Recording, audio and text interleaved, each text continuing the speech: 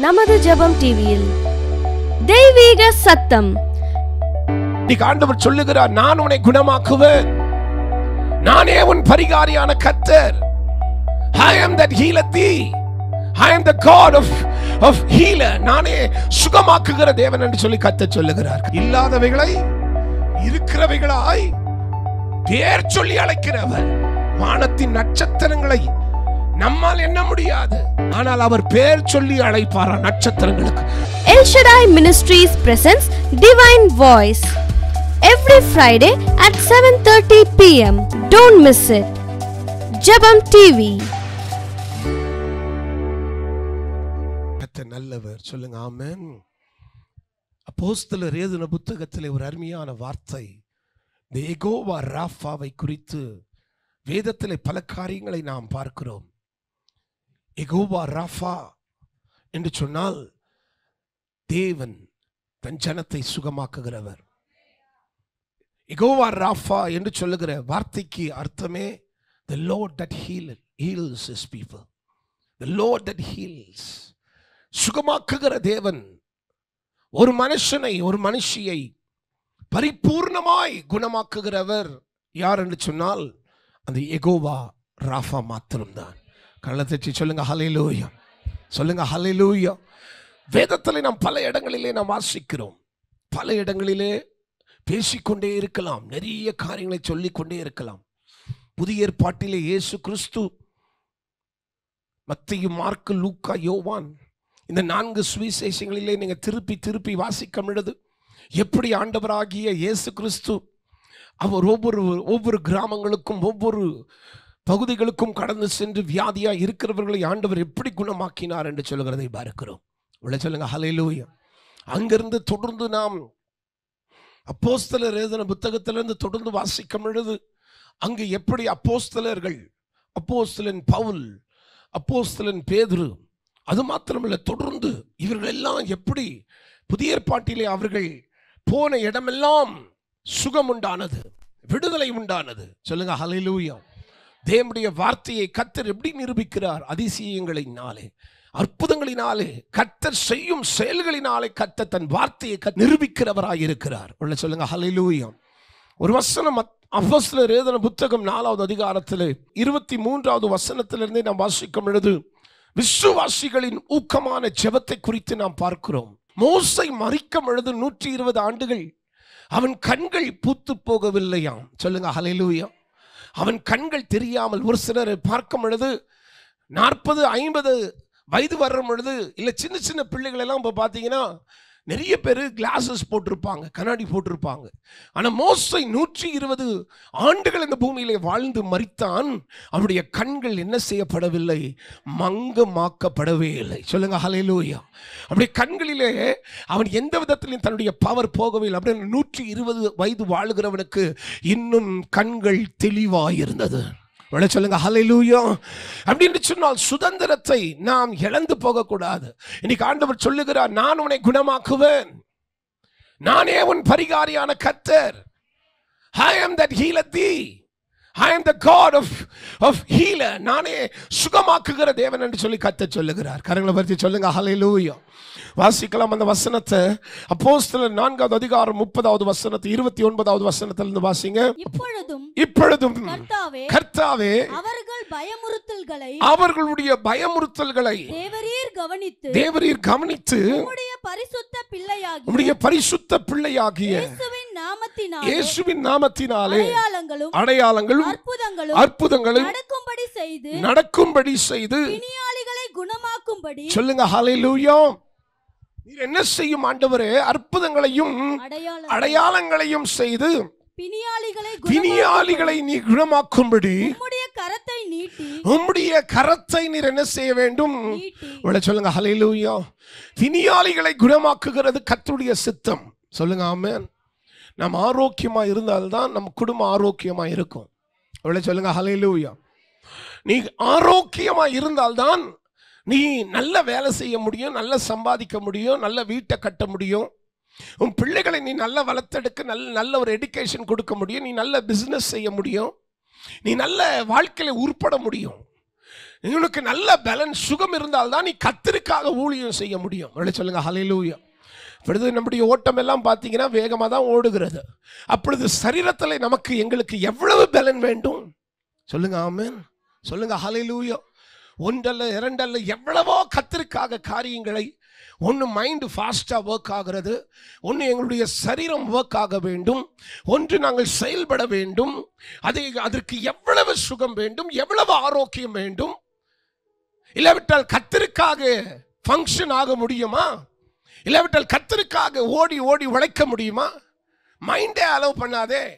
Once ஒரு மனுஷனுடைய சரீரம் பாதிக்கப்படும் பொழுது அவனுடைய மைண்டு பாதிக்கப்படும். சொல்லுங்கள் ஹalleluya எதையும் திங்க் பண்ண விடாது. ஒன்ஸ் ஒரு மனுஷனுடைய சரீரம் என்ன செய்யப்படும் போது பாதிக்கப்படும் பொழுது பலவீனம் அடையும் போது மைண்டு ஒர்க் ஆகாது. என்ன ஒர்க் ஆகாது? இந்த மைண்டு ஒர்க் ஆகாது. அப்போ எங்களுக்கெல்லாம் நீங்கள் பார்த்தீங்கன்னா ஃபஸ்ட்டு மைண்டு தான் நல்ல ஒர்க் ஆகணும். உள்ள சொல்லுங்க ஹalleluya. ஏன்னா அடுத்தது அடுத்தது அடுத்தது அடுத்தது அடுத்தது அடுத்தது என்று சொல்லி சிந்தித்து கொண்டே இருக்கிறோம் ஜெபம் பண்ணிக்கொண்டே இருக்கிறோம் கேட்டுக்கொண்டே இருக்கிறோம். அதற்கு வேண்டிய வேகமும் அதற்கு வேண்டிய விவேகமும் அதற்கு வேண்டிய அறிவும் அதற்கு வேண்டிய தெளிவையும் யார் கொடுக்கிறது என்று சொன்னால் பரிசுத்த ஆவியானவர் தான் கொடுக்கிறார். களபதி சொல்லுங்க ஹalleluya. சொல்லுங்க ஆமென். அப்பொழுது இந்த அப்போஸ்தலர் ஏதன புத்தகத்தில் நாம் வாசிக்கும் பொழுது விசுவாசிகள் ஆகப்பட்டவர்களுடைய ஊக்கமான ஜெபம். இருபத்தி மூன்றாவது வசனத்தை வாசிங்க வேகமாக. அவர்கள் அவர்கள் விடுதலை ஆக்கப்பட்ட பின்பு சேர்ந்தவர்களிடத்தில் வந்து தங்களை சேர்ந்தவர்களிடத்திலே வந்து பிரதான ஆசாரியர்களும் பிரதான ஆசாரியர்களும் மூப்பர்களும் தங்களுக்கு சொன்ன யாவையும் இருபத்தி. ஓராவது வசனத்திலிருந்து வாசிங்க நடந்த சங்கதிகளை குறித்து அப்போஸ்தலர் நான்கு இருபத்தி ஒன்றுல இருக்கிற நடந்த சங்கதிகளை குறித்து எல்லாரும் தேவனை மகிமைப்படுத்தின எல்லாரும் தேவனை என்ன செய்தார்களாம்? உள்ள சொல்லுங்க ஹalleluya. சொல்லுங்க ஆமென். சொல்லுங்க ஹலையிலூயோ ஆனால் நல்லா கவனிக்க வேண்டும் இந்த பேதுரு யோவானை நாம் பார்க்க முடியாது அவர்களுக்கு பலவிதமான உபத்திரங்கள் பலவிதமான போராட்டங்கள் பலவிதமான இக்கட்டுக்கள். சொல்லுங்க ஹலையிலூயோ அவர்கள் தேவனுடைய ஆலயத்திற்கு போகிறார்கள். அங்கே போக பொழுது வெளியிலே ஒருவன் என்ன செய்து கொண்டிருக்கிறான்? ஒருவன் பிச்சை கேட்டுக் கொண்டிருக்கிறான். அது ஒன்றும் தப்பு இல்லை ஒரு தேவனுடைய ஆலயங்களுக்கு இப்போ நீங்கள் பார்க்குறீங்க கோயில்கள் ஆலயங்கள் மசூதிகளுக்கு வெளியிலே எந்த இடமா இருந்தாலும் உட்கார்ந்து பிச்சை கேட்பார்கள். அது எல்லாருடைய அந்த தேவை உள்ளவர்கள் கேட்கிற அவருடைய இது. அவ்வனமாய் பேதுருவும் யோவானும் அவர்கள் தேவனுடைய ஆலயத்திற்கு தொழுது கொள்ள போகிறார்கள். ஆனால் போகிற அந்த என்ட்ரன்ஸில் அந்த எதிர்க்க கதவு வாசல் எதிர்க்க ஒருவன் பிச்சை கேட்டு கொண்டிருக்கிறான். உள்ள சொல்லுங்க ஹalleluya அதற்கு அவர்கள் செய்தது என்ன? அவரிடத்தில் இருக்கிறதை தான் கொடுக்க முடியும். கருங்களை பற்றி சொல்லுங்க ஹalleluya சொல்லுங்க ஆமேன். ஒரு மனுஷன் இடத்துல என்ன இருக்கிறதோ அதான் கொடுக்க ஒரு ஊழியக்காரன் இடத்துல என்ன இருக்கிறதோ அதான் கொடுக்க முடியும். உள்ள சொல்லுங்க ஹalleluya இப்போ நான் ஒரு ஊழியக்காரன். இல்லாவிட்டால் விட்டால் சரி அஹ், தமிழ்நாட்டிலேயே இல்லை சரணா கர்நாடகாலே இது இந்தியாவில் ஒரு பெரிய ஊழியக்காரன் இருக்கிறார். அவர்கிட்ட ஆண்டவர் என்ன கொடுத்துருக்கிறாரோ அதை தான் கொடுக்க முடியும். அவர் அடிஷ்னல் எதுவும் கொடுக்க முடியுமா? ஆனால் அடிஷ்னலாக கொடுக்குறதெல்லாம் ஆண்டவர் தான். கடலை பற்றி சொல்லுங்கள் ஹalleluya பேதுருவும் யோவானும். சொல்லுங்கள் ஆமேன். யார் இங்கே? பேதுருவும் சொல்லுங்க ஆமென். இவங்க ரெண்டு பேரும் தேவனுடைய ஆலயத்திற்குள் போவதற்கு முன்பதாக இவன் உள்ள ஓடிட்டான். உள்ள சொல்லுங்க ஹalleluya சொல்லுங்க ஆமேன். இப்போ இவனுக்கு தானே போ சபைக்கு போனோன்னு போனானுங்க. பேதுருவும் யோவானும் போனானுங்க. ஆனால் கையை பிடிச்சி எழுப்பி விட்ட உடனே நேராக சபை உள்ள ஓடிட்டான். சொல்லுங்க ஹalleluya உள்ள போன உடனே உள்ள பெரிய ஒரு குழப்பம் உண்டாயிற்று. சொல்லுங்க ஆமேன்.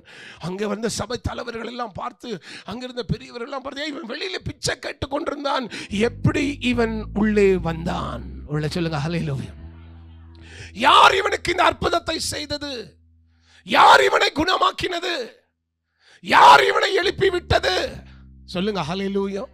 நிதானமா பேதுருவும் யோவானும் அவர்கள் தேவனுடைய ஆலயத்திற்குள் போனார்கள். அங்கே அவன் துள்ளி குதித்து தேவனை என்ன செய்து கொண்டிருந்தானாம்? அவன் ஆராதித்து கொண்டிருந்தான். உள்ள சொல்லுங்க ஹalleluya சொல்லுங்க ஆமேன் வெறும் வாரத்துக்கு ஒரு முறை ரெண்டு வாரத்துக்கு ஒரு முறை மாதத்துக்கு ஒரு முறை ஒரு முறை சுகத்துக்கு வந்தால் அது உனக்கு சரியான நிரந்தரமான ஒரு சுகமா இருக்காது ஆனால் அதையே டெய்லி வந்து பாருங்க. அப்பொழுது உள்ளே போன உடனே சொல்லிட்டான் இதை யார் செய்தது?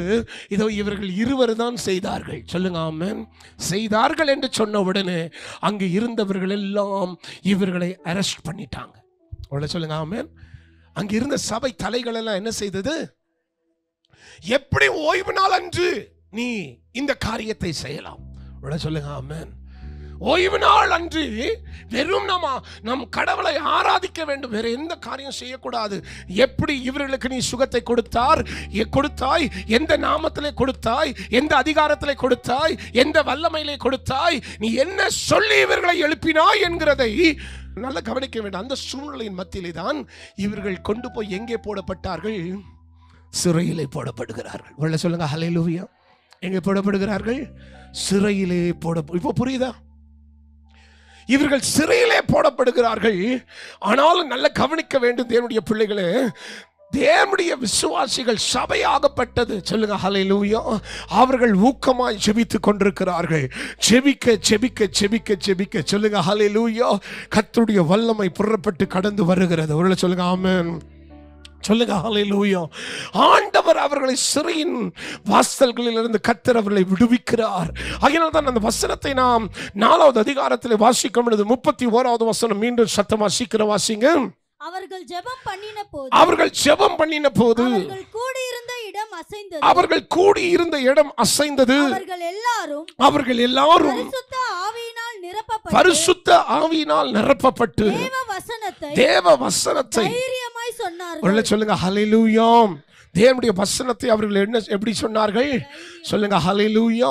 ஒரு தைரியத்தின் ஆவியை கத்த தன் ஜனங்களுக்கு கொடுக்கிறவராய் இருக்கிறார் இவ்வளவு பேர் அதை விசுவாசிக்கிறீர்கள். ஆகினாலே நம்முடைய தேவனாகிய கத்தர் யார் என்று சொன்னால் அவர் எகோவா ராஃபாவா இருக்கிறார். உள்ள சொல்லுங்க ஆமேன். சொல்லுங்க ஹalleluya. கடந்த காலங்களிலே ஆண்டவர் அற்புதங்களை செய்திருக்கிறார். என்னாகமம் இருபத்தி ஓராவது அதிகாரம் நாலாவது வசனத்திலிருந்து நாம் வாசிக்கும் பொழுது ரொம்ப அழகான காரியங்களை பார்க்க ரெண்டு ராஜாக்கள் அஞ்சு ஒண்ணுல இருந்து பதினாலு வரைக்கும் வாசிக்கும் பொழுது தேவன் செய்த அற்புதங்களை குறித்து பார்க்கிறோம். முதல்ல சொல்லுங்க ஆமென்.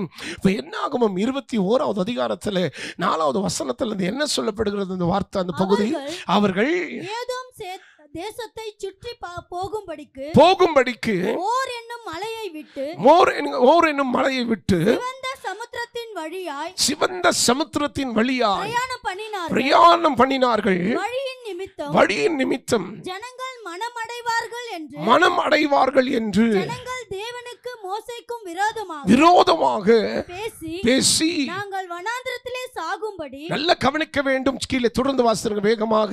நாங்கள் வனாந்திரத்திலே சாகும்படி நீங்கள் எங்களை எகிப்து தேசத்தில் இருந்து வர பண்ணினது என்ன? என்ன இங்கே அப்பமும் இல்லை அப்பமும் இல்லை தண்ணீரும் இல்லை தண்ணீரும் அற்பமான உணவு எங்களுக்கு எங்கள் மனதுக்கு வெறுப்பா இருக்கிறது என்றார். இருக்கிறது என்றார்கள். அப்பொழுது கர்த்தர் கத்தர் கொள்ளிவாய் நல்ல கவனிக்க வேண்டும். அப்பமும் இல்லை. அப்பமும் இல்லை. தண்ணீரும் இல்லை. தண்ணீரும் இல்லை. அற்பமான உணவு. அற்பமான உணவு. மனதுக்கு வெறுப்பா இருக்கிறது. நல்ல கவனிங்க. கம்ப்ளைண்ட் பாருங்க எப்படி இருக்குது. சொல்லுங்க ஹalleluya. தட்டினவன் என்ன வந்தது? தண்ணி வந்துச்சு. ஃப்ரெஷ் தண்ணி. ஏரி தண்ணி இல்லை. நாத்த பிடிச்ச தண்ணி. இது வந்து ஃப்ரெஷ் தண்ணி வருது. நல்லா குடிச்சிட்டு. இப்போ வானத்திலிருந்து மண்ணா நல்ல ஃப்ரெஷ் வாட்டர் எல்லாத்தையும் குடிச்சிட்டு சாப்பிட்டுட்டு இந்த அற்பமான உணவு எங்கள் மனதுக்கு எங்கள் என்னவா இருக்கிறது? சொல்லுங்க ஹalleluya சொல்லுங்க ஆமென் நிறைய பேர் அப்படிதான் சொல்லிக்கிட்டே இருக்கிறது. இந்த அற்பமான உணவு எங்க மனதிற்கு என்னவா இருக்கிறது? உணவு என்கிறது வேதத்தின்படி அப்பம் என்கிறது கத்துடைய வார்த்தை. கரலை பத்தி சொல்லுங்க ஹalleluya என்னது அது? அப்பம் என்கிறது என்னது? வேதத்தின்படி என்ன? கத்துடைய வார்த்தை வெறும் பிரியாணியே யோசிச்சுக்கிட்டு இருக்காதே.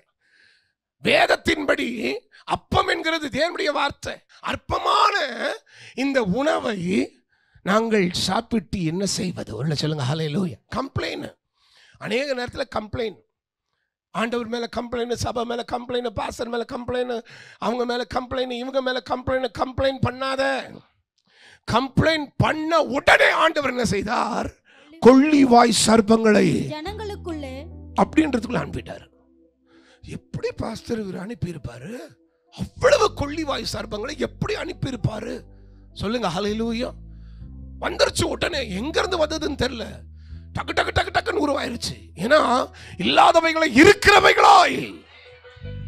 சொல்லுங்க வாயை திறந்தாமன் இல்லாதவைகளை இருக்கிறவைகளாய். பேர் சொல்லி அழைக்கிறவர். வானத்தின் நட்சத்திரங்களை நம்மால் என்ன முடியாது. ஆனால் அவர் பேர் சொல்லி அழைப்பாரா நட்சத்திரங்களுக்கு. கரண தட்டி சொல்லுங்க ஹalleluya சொல்லுங்க ஆமென் கம்ப்ளைண்ட் பண்ணாம கத்தர் போதுமானவர் என்று சொல்லி எப்பொழுதும் அறிந்து கொள்ளுங்கள். நல்ல கவனிக்க வேண்டும். அந்த கொள்ளிவாய் சர்ப்பங்களை கத்தர் என்ன செய்தார்? கர்த்தர் கொள்ளிவாய் சர்ப்பங்களை ஜனங்களுக்குள்ளே அனுப்பினார். அனுப்பினார். அவைகள் ஜனங்களை கடித்ததினால் கடித்ததினால் இஸ்ரவேலருக்குள்ளே இஸ்ரவேலர்களுக்குள்ள. அநேக ஜனங்கள் செத்தார்கள். கரங்களை பத்தி சொல்லுங்க. ஹalleluya இஸ்ரவேலுக்குள்ள அநேக ஜனங்கள் என்ன செய்தார்கள் செய்தார்கள். சொல்லுங்க சொல்லுங்க ஆமென். சொல்லுங்க ஹalleluya ஆனா ஆண்டவர் மீண்டும் என்ன செய்தார்? அதற்கு ஒரு பரிகாரத்தை கத்தர் செய்கிறார். சொல்லுங்க ஹalleluya அதான் சுகம். சொல்லுங்க ஆமென் அந்த இடத்துல தான் நம்முடைய ஏகோவா ராஃபா நிற்கிறார். அதனால பற்றி சொல்லுங்க ஹலையிலூயா ஏன்னா நீ கம்ப்ளைண்ட் பண்ண அதுக்கு வேண்டிய தண்டனை என்ன செய்ய? வாங்கி. கம்ப்ளைண்ட் பண்ண அதுக்கு வேண்டிய தண்டனையை வாங்கிக்க. பொய் சூனினா அதுக்கு வேண்டிய தண்டனையை வாங்கிக்க. கணவன் மேலே பொய் சூனினா அதுக்கு வேண்டிய தண்டனை வந்துடும் சும்மா நான் சொல்லக்கூடாது. அவர் பார்த்தீங்களா?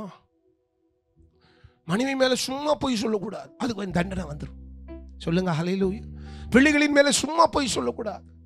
சபையின் மேல் சும்மா பொய் சொல்லி கம்ப்ளைண்ட் பண்ணக்கூடாது. ஆ.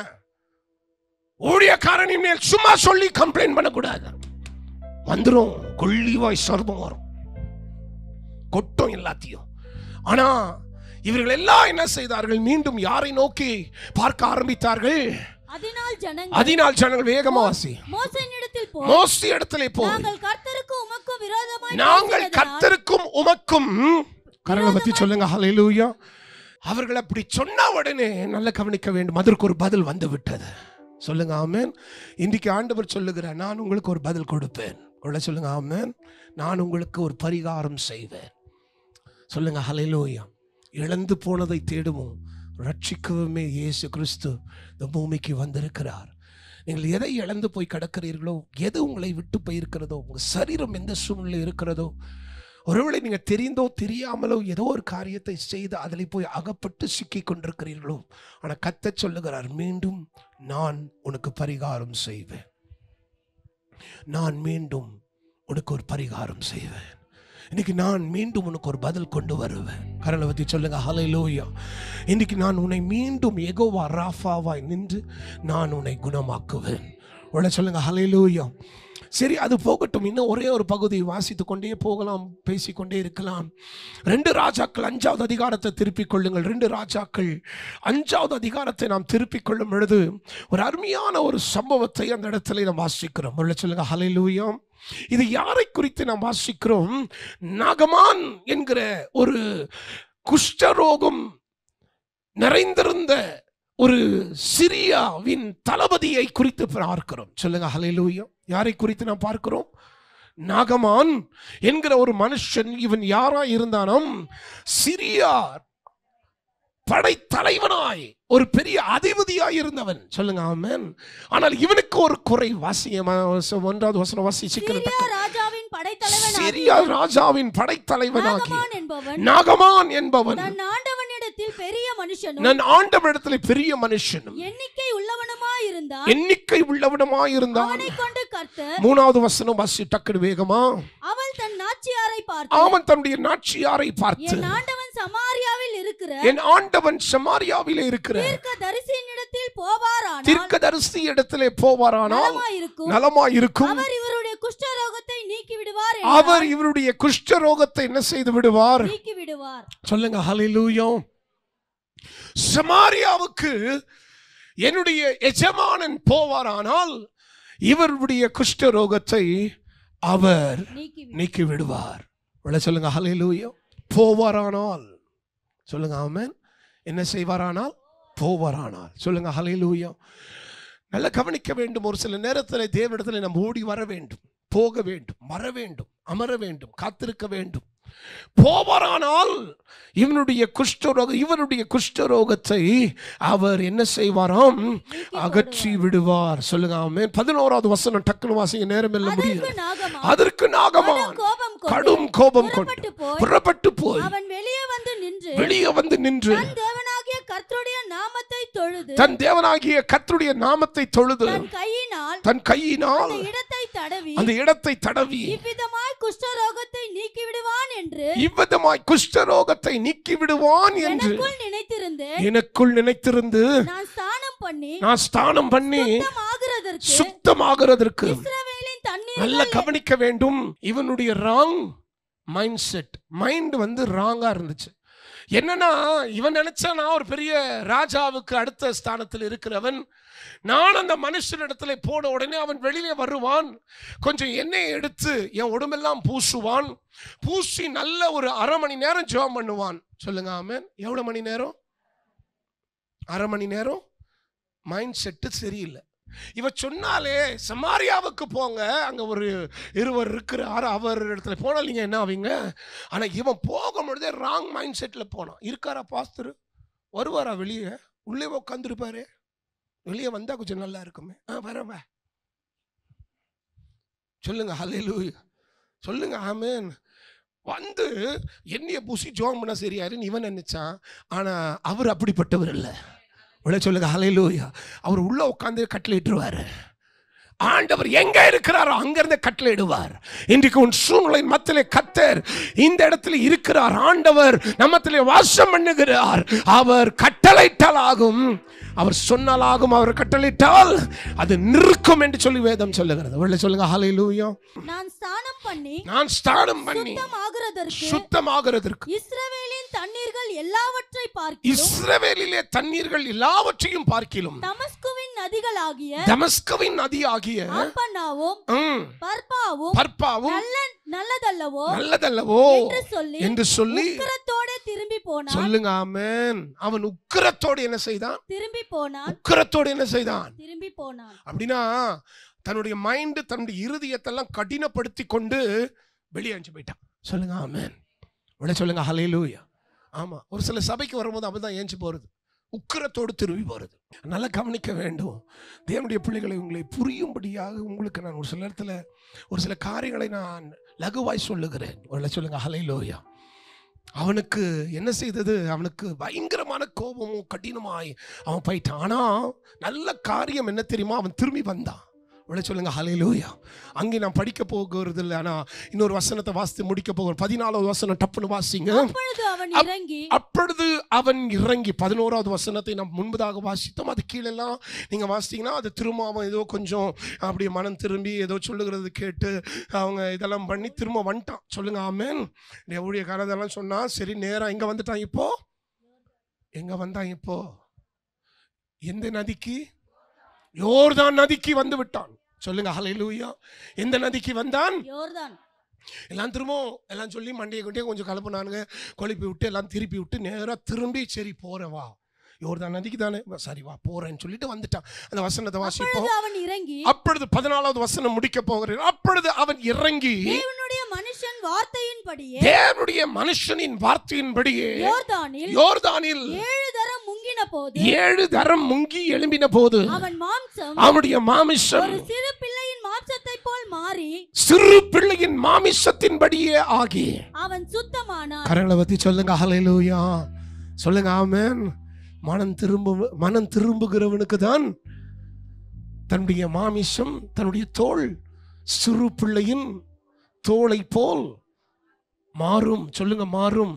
ஒருவன் கிறிஸ்துவுக்குள் இருந்தால் பழையவைகள் எல்லாம் எல்லாம் புதிதான புதிதாய் மாறினது. சொல்லுங்க ஹalleluya எல்லாம் எழுவி கத்துடைய கர்த்தருடைய சமூகத்தில்.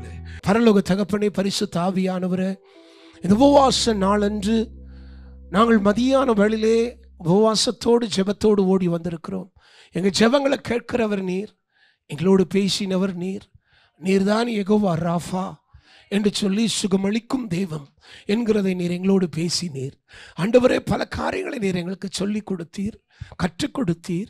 ஆண்டவரே எங்களுக்கு தெரியவில்லை ஆனாலும் நாங்கள் கற்றுக்கொண்டோம் நாங்கள் அறிந்து கொண்டோம். அவைகளை நாங்கள் கை கொள்ள வேண்டும் என்று சொல்லி நாங்கள் செபிக்கிறோம் தகப்பனு. வந்த ஒவ்வொரு தேவனுடைய பிள்ளைகளையும் பிதா குமாரன் பரிசுத்தாவி நாமத்தினாலே நான் ஆசீர்வதிக்கிறேன். ஆசீர்வதியும் இயேசு கிறிஸ்துவின் நாமத்தினாலே பிதாவே.